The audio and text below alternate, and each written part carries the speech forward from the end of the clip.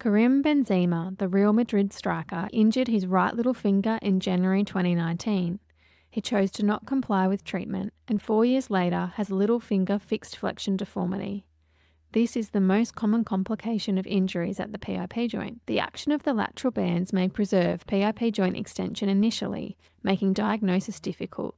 If a central slip lesion is overlooked, the patient often returns after two to three weeks with the so called boutonniere deformity. This is due to the deforming forces from the intact anatomy at the PIP joint. When the central slip is detached, the lateral bands are displaced volarly and pull the DIP joint into hyperextension.